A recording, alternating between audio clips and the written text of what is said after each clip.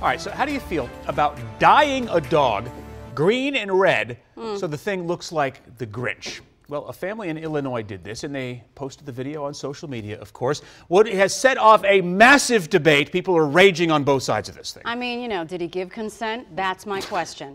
Owner Ashley Spielman says they never anticipated getting so much attention by transforming their miniature schnauzer, Rizzo, into the Grinch.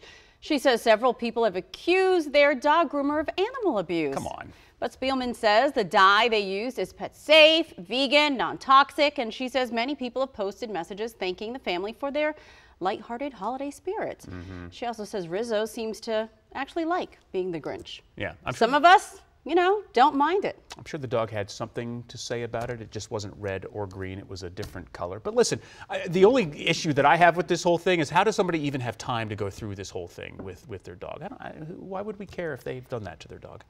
They don't have jobs. I don't know. There it is. All right, sound off. Let us know what you think. Delia and I are on Twitter, and uh, that's where opinions go to die. So share yours with us.